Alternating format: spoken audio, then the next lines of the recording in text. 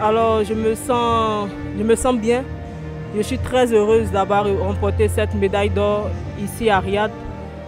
Alors c'est ma première compétition après les Jeux Olympiques. Et voilà, ça me fait plaisir de revenir sur la plus haute marche du podium.